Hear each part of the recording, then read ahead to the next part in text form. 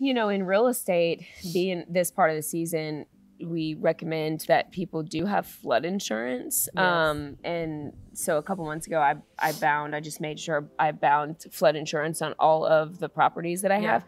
Flood insurance covers the flooding part of a catastrophe, but it also covers like floods from like water heater or some a pipe burst internal. Um, so flood insurance isn't necessarily for just Weather. well, yeah, just a hurricane. Yeah, and it's not really expensive. I mean, it's not cheap, but it's not expensive. We're talking like what four to six, maybe eight hundred dollars yeah, a year. yeah. Um, and of course, the further you're out, I'm sure the the, the less it is. Uh, Mhm. but it is a great idea for a lot of people that aren't aren't even in flood zones. Was is Orlando a flood zone? Uh, well, all of the state of Florida is a good question. The entire state of Florida is in a flood zone, so it's Oh. no, known as X flood zone. Um, but X flood zone does not require flood insurance. If you have a mortgage. Um, right, right, yeah. And um, but if you're in the other flood zones, AE, VE flood zones, then you are required to hold flood insurance if you have a mortgage. Okay, well that's all. Being from Georgia, or well, actually born in Florida, but raised mostly in Georgia, and now back in Florida, I'm still learning some of my Florida, what yeah, notes. Florida ways. Yeah, Florida ways Yeah. again. Mm-hmm. Um, and I didn't realize that. I thought X was just kind of like, no, you're not in a flood zone, but I No, didn't really pay It's the X attention. flood zone. Interesting. Yeah. Now you know something new that you can I explain do. to I- people. I, I, do. I do. Because I was going to say, because, you know, Orlando flooded and they're like in the middle of the whole state. They're not, you know, I'm sure there's bodies of water around there. well, floods occur. I, I lived there too a while, uh, years ago, but I can't, I you know, was only there like six months. But, um, but it's not like near any ocean.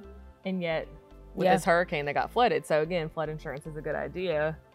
And floods occur for different reasons. Like the sewage can get, you know, sewage lines, drain, drains can get backed up. All the retention ponds can get backed up from, you know, water. Um, That's what happened. Well, that was a hurricane that came through, but it didn't flood it, did it? What was that and then property we waters looked rise. at? I mean, if you are on the coast. we looked at a property that's something with the sewage. The uh, yes. So they had, yeah, there's issues sometimes with cities um, and subdivisions where the sewage lines, it's it's like over capacity.